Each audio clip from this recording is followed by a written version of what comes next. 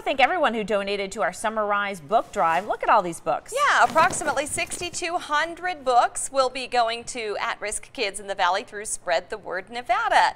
251 adult books were also donated, so thank you for that. This 13 Connect Summer Rise community campaign is sponsored by Subaru of Las Vegas and America First Credit Union. Caught